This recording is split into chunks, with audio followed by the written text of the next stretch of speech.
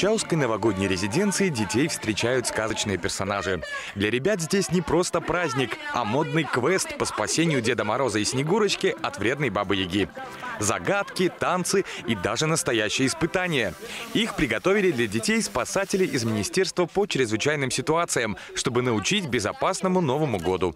МЧС с удовольствием участвует в новогоднем мероприятии, ведь это замечательная возможность рассказать нашим ребятам в игровой форме правила безопасного поведения. Дети, которые приехали на встречу с Дедом Морозом и Снегурочкой из приемных и опекунских семей.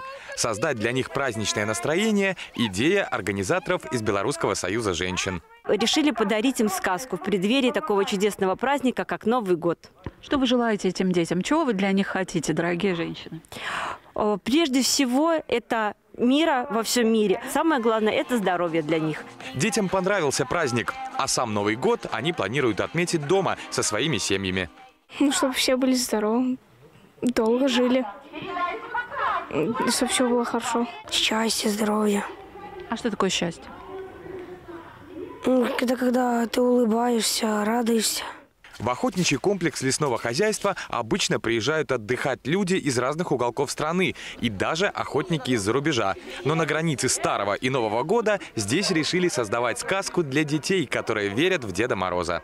Дед Мороз – это э, сказочный герой, и я бы советовал взрослым, не только детям, но и взрослым э, мечтать, загадывать желания, и оно обязательно сбудется. Самый популярный персонаж на нынешних новогодних праздниках, безусловно, тигр, восточный символ нового 2022 Но в Чауской волшебной резиденции есть свой символ – рыжий и милый.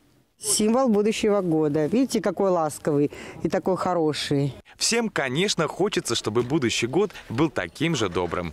Самое главное – не чихать и не болеть, здоровье крепкое иметь. И счастья всем.